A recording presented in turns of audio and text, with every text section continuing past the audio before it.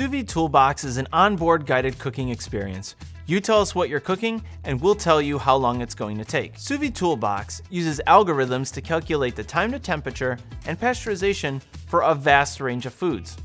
These food types include animal proteins, eggs, vegetables, fruit, legumes, lentils, custard, and yogurt. Sous Vide Toolbox requires you to measure the thickest part of your food on its shortest side. To begin, select the food type. Follow the on-screen prompts for the selected food type.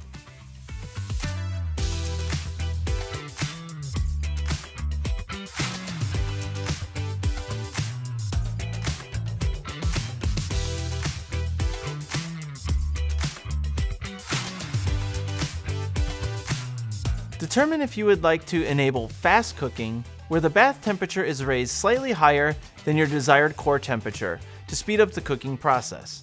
Don't worry too much about overcooking. The last 2 degrees to reach core temperature takes quite some time, and an alarm will sound when the calculated cook time has elapsed so that you can either turn the bath temperature down or remove the food. You can also choose to add an ice bath calculation if you want to know how long it will take to cool the product down to 5 degrees Celsius after cooking for storage and service later. Thanks for watching this video. Subscribe, like, and follow us on all of our channels for more great content.